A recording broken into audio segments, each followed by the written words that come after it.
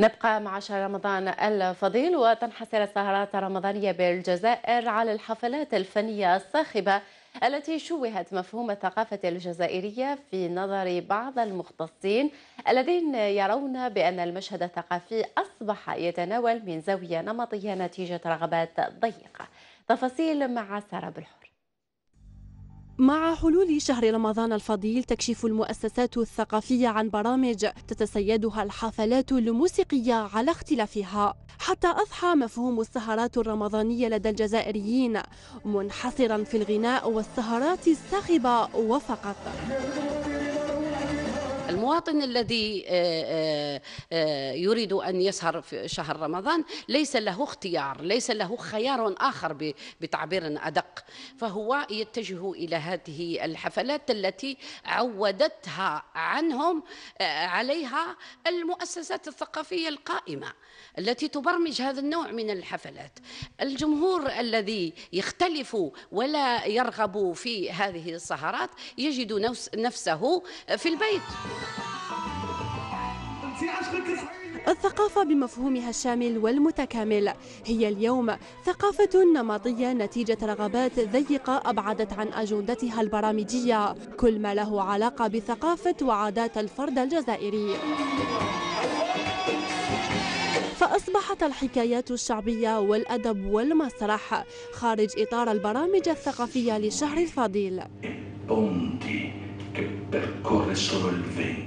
المنظومة الاجتماعية نمطته على أن يكون آه، محاكيا آه، للسائد ولكن هذا الجزء الإنساني فيه الذي هو العقل والذي هو التفكير والذي آه، هو المحبة والذي هو العلاقات الاجتماعية الصافية مغيب في في تصورات القائمين على البرمجة. شهر الصيام يحل علينا كل سنة ببرامج فنية محضة تكاد أن تخلو من جوهرها المنوط بالجمال الروحي والهدوء النفسي لتحل محلها سهرات صاخبة أبعدت الجزائريين عن لب شهر رمضان.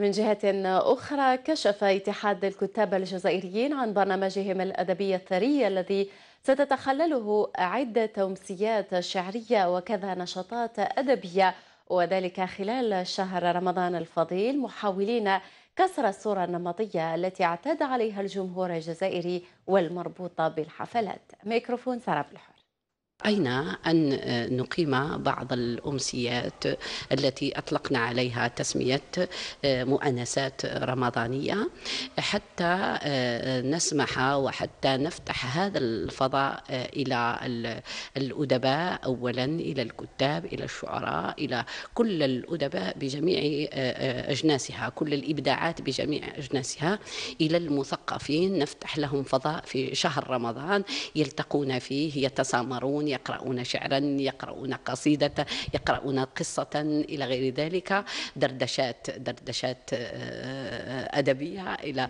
بين زملاء وبين مثقفين نعود إلى أجواء رمضان الكريم وتقدم العديد من نجوم الفن الجزائريين بتهانيهم الخالصة بمناسبة شهر رمضان الفضيل متمنيين للجزائريين والأمة الإسلامية جمعاء أن يصوموا بالصحة والعافية والهناء ونقول للجمهور الجزائري صحة رمضانكم وكل عام والشعب تاعنا بخير وتصوموا بالصحة والهنا نقول لهم صحة رمضانكم إن شاء الله يدخل بالخير والبركات والصحة الجيدة إن شاء الله. بالكم إن شاء الله آه، كل سنة إن شاء الله تكون هذه اللمة. وصحة رمضانكم. صحة رمضانكم وكل عام وإنتم بخير إن شاء الله. وتصوموا إن شاء الله بالصحة والستر إن شاء الله. متزايد معكم الشاب مامي صحة رمضانكم إن شاء الله. نقول لكم صحة رمضانكم وكل عام تصوموا بخير. وإن شاء الله في هذا سيدنا رمضان انتظروني في عمل جديد. السلام عليكم معكم كادر جابوني نتمنى للشعب الجزائري الأمة العربية رمضان كريم وكل عام وأنتم بخير إن شاء الله. صحة رمضانكم وكل الشعب الجزائري نقولوا صحة رمضانكم ونطلبوا الشفاء لرئيسنا وعلى كل حال وتحية الجزائر إن شاء الله يدخلنا بالخير والصحة والهناء. ونصوموا بالخير إن شاء الله كل عام والأمة الإسلامية بخير. وحنا نطلبوا من الله تعالى. اللي مريض الله يشافيه واللي محتاج ربي يعطيه. واللي مغبور الله يقلع غبينته واللي بغى حاجة من حوايج الله ربي يكملها له إن شاء الله. رمضانكم وكل عام وأنتم بخير. إن شاء الله ربي يخلينا كامل متحابين متعاونين. عزيزي المشاهد صحة رمضانك تصوم بالصحة. والعافية وكل عام وأنتم بخير وتحية للجزائر. إن شاء الله نعيدوا ونعودوا بالصحة إن شاء الله.